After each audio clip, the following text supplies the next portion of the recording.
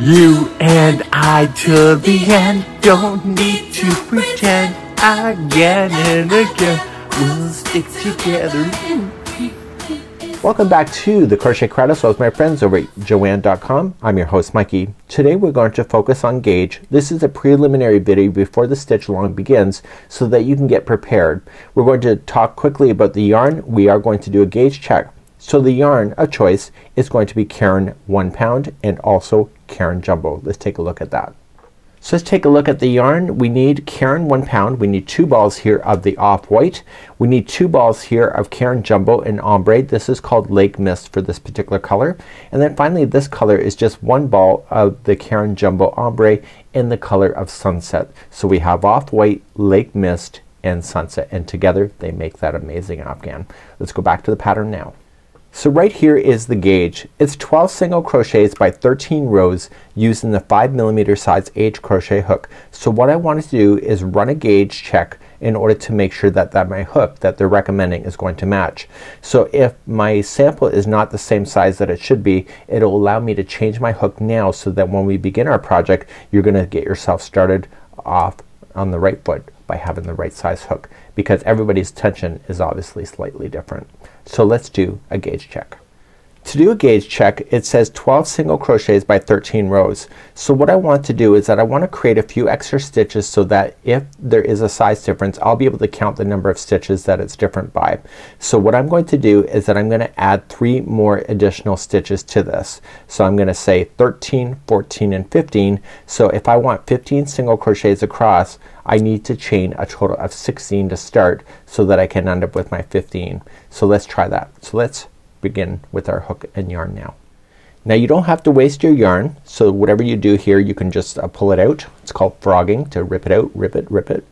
So we're going to begin and I told you we want to chain 16. So 1, 2, 3, 4, 5, 6, 7, 8, 9, 10, 11, 12, 13, 14, 15, and 16. So now that we have the 16 on here what I want to do is begin row number one.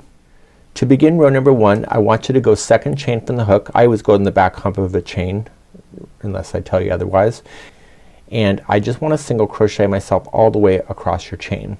So by you chaining 16 this will give you a total of 15 single crochets across because the fact is that you went second chain from the hook so therefore you skipped over one of the chains. So that's how that works. So go all the way across. I'll meet you on the other side.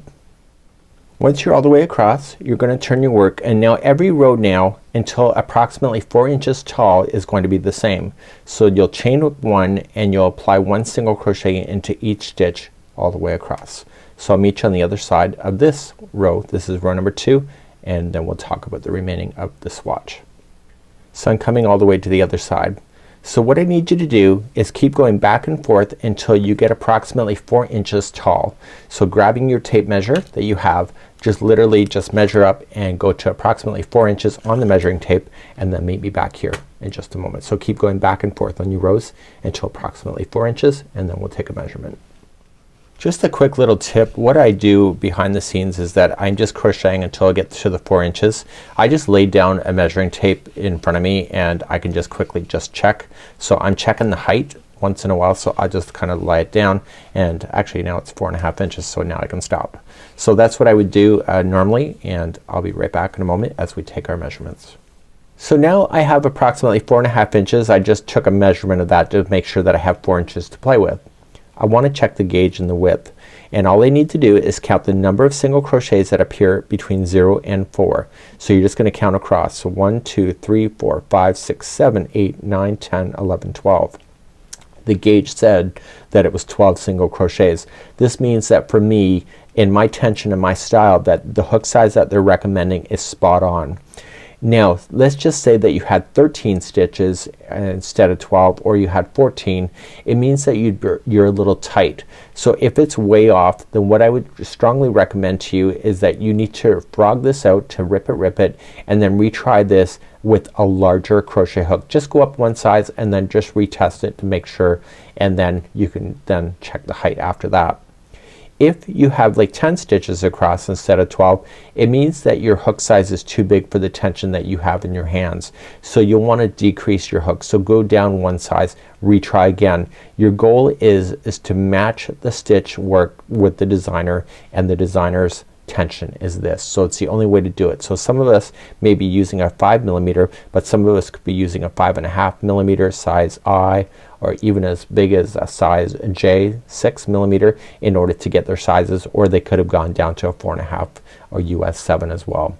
So now we're gonna check the the height. So if the width is not right and you have too many stitches or not enough it means that your height is gonna be factored in as well. And so you're going to measure the amount of stitch stitches that you have in between a four inch span. So we're gonna start with this one here one. So one, two, three, four, five, six, seven, eight, nine, ten, eleven, twelve, and 13 and I have a little bit of the 14th here. So this means that my, my gauge is right. So if I were you and you were me concentrate on the width as being your most strongest factor because if the width is not proper with the number of stitches between the four the height is not gonna match either. So that's what we want to do. Once you have that confirmed just write that down on a spare piece of paper or whatever you're working with and then you know the hook size to begin with week number one and you can start immediately when the pattern rolls on out. So until next time it's Mikey on behalf of my friends over at Joann.com as well as us here at the Crochet Crowd. We'll see you again real soon. Bye -bye.